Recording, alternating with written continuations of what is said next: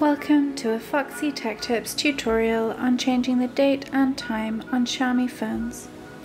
If you find this video helpful, please consider subscribing to my channel and liking the video. Start by opening the Settings app.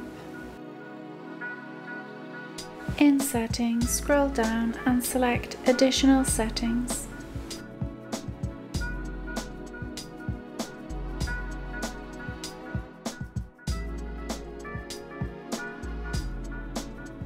Now select Date and Time. Disable the toggle to turn off network provided time.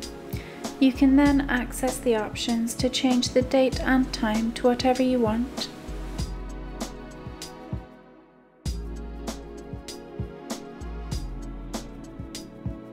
And that draws an end to this tutorial.